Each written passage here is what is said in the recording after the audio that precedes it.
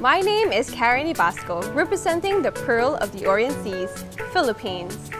My country is found in Southeast Asia and is composed of more than 7,100 beautiful islands. The Philippines has a variety of natural resources, biodiversity, rich and diverse cultural heritage, and unforgettable tourist destinations, from white sand beaches, breathtaking sceneries, to adventurous mountains. Some of these well-known destinations that are famous for both local and foreign tourists are Coron, Palawan, Boracay Island, Puerto Princesa Underground River, Banawe Rice Terraces, and Mayon Volcano. There are also many ecotourism spots that are not very much known to many. In Luzon, there is Mount Pulag in the province of Benguet. In Visayas, there is Sohoton National Park in the province of Samar. And in Mindanao, there is Mount Timpoong Hibok-Hibok Natural Monument in the province of Camiguin. I'm a half Filipino and half Chinese, but 100% Filipino by heart, born and raised in the Philippines. I'm a medical physicist by profession. I worked in one of the most prestigious hospitals in the Philippines under the Department of Radiation Oncology. I also taught in the University of Santo Tomas as an instructor, teaching mathematics and physics.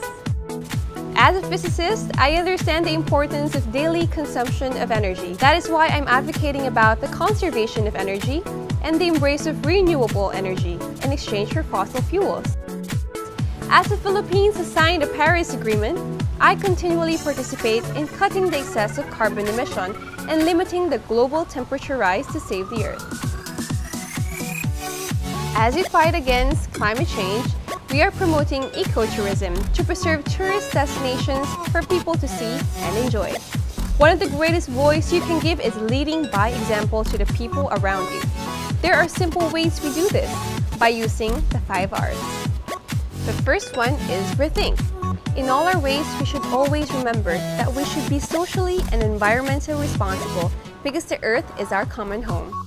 The second is reduce. Conserve energy as you use your appliances, gadgets, and equipment. As our era is about the modernization of technology, the care for Mother Earth should not be compromised. Diversify your diet by eating more vegetables and less meat. In this ways, we are reducing greenhouse gas emissions. The third is reuse. Let us embrace the use of eco bags in exchange for plastic and paper bags. The fourth is recycle. Repurposing or rather upcycling is one of the most creative ways to help the environment by thinking out of the box. And lastly, but surely not the least, is respect. Having this will give us the foundation and drive for heeding the call to be good stewards of God's creation. As a former teacher, I believe that education is one of the greatest investments. Start students as young as they are, and they will be equipped to continue the work we have started in preserving the environment. That is why I love doing school tours in different cities because I know the significance in contributing to the next generation. I also participate in different tree planting and cleanup programs. I understand that taking part is the responsibility of setting an example for others to do the same.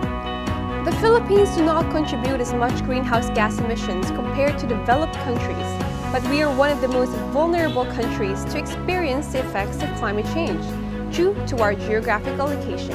That is why I'm honored and privileged to represent my country in taking the responsibility of being an advocate. Since the country contributes to a huge amount of daily consumption of energy, it will do a big help to the environment as we cut carbon emissions by embracing renewable energy and also doing our part as individuals in putting awareness into action by living a greener lifestyle.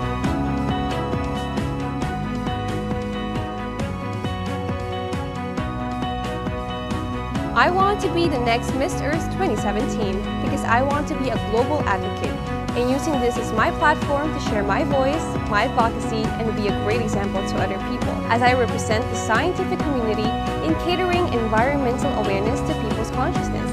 Because I believe that our micro efforts will have a macro effect if we all work together to save our Earth.